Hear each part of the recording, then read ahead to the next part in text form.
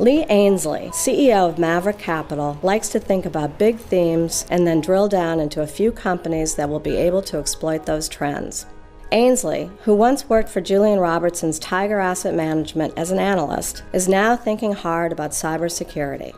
The Tiger Cub talks about hackers, as well as the bright spots and pitfalls facing investors over the next year.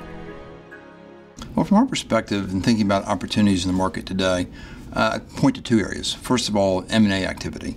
Uh, year to date, it's the strongest year we've enjoyed since 2007, and I believe by year end we'll actually surpass 2007 in terms of number and magnitude of deals completed.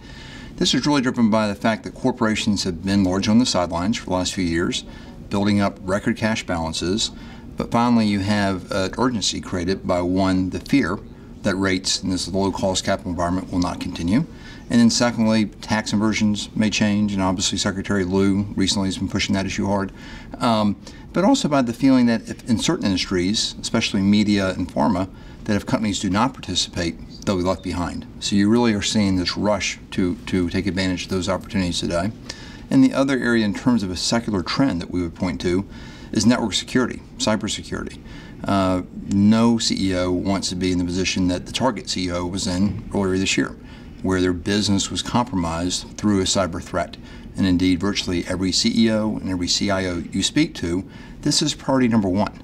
We live in a world that demands consistent and, and uh, very constant connectivity, uh, and therefore every company has to really dramatically change their ability to ward off these very serious threats, and that's driving very strong spending that we think will continue for many years. So in terms of M&A, that's really an important consideration for us on both the long side and the short side. And so really in every investment we make, we spend a lot of time trying to evaluate that potential.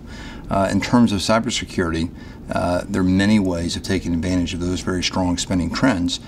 And so to have companies with those strong free cash flows that are enjoying very strong growth rates and growth rates that really are not dependent upon is our economy growing at 1% or 4%, or do we taper quickly or slowly, but really driven by those secular trends which will demand continued spending, I think are attractive opportunities. The greatest concern we have right now is the unnatural suppression of risk premiums as a result of very aggressive monetary policy. But to put this in historical perspective, in 2011, S&P volatility hit 37%.